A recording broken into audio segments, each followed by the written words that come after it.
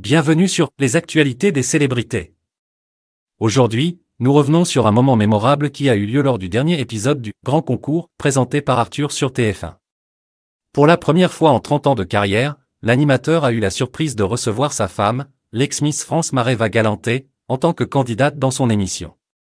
Et le moins que l'on puisse dire, c'est que cela a donné lieu à des situations cocasses et des fous rires garantis. Dès le début de l'émission, Arthur a avoué être perturbé par la présence de sa splendide épouse parmi les participants.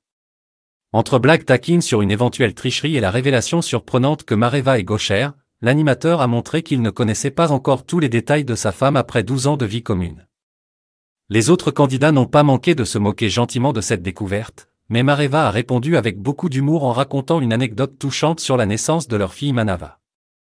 Le moment qui a le plus amusé les téléspectateurs a été lorsque, lors d'un échange de place avec Nikos Aliagas, Arthur a maladroitement trébuché devant sa femme qui n'a pu retenir un air amusé face à la scène.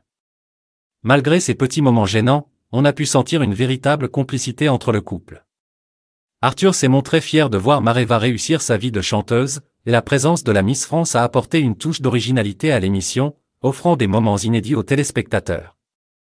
Restez avec nous pour plus d'actualités croustillantes sur vos célébrités préférées.